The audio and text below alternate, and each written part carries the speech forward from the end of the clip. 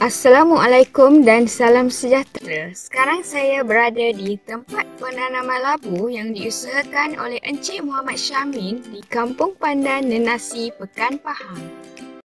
Uh, saya telah mengusahakan tanaman labu ni sejak 2 tahun lepas. Pada mulanya secara sedikit saja, namun uh, saya dapati labu ini mendapat permintaan yang tinggi daripada pemborong.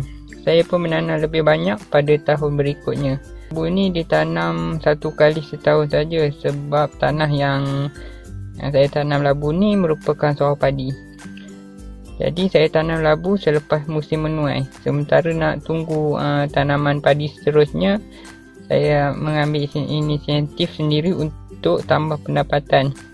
Kalau tengok pada pokok yang besar ni baru satu bulan lebih benih yang ditanam. Jadi tunggu dalam masa 2 atau 3 bulan lagi bolehlah kutip hasilnya.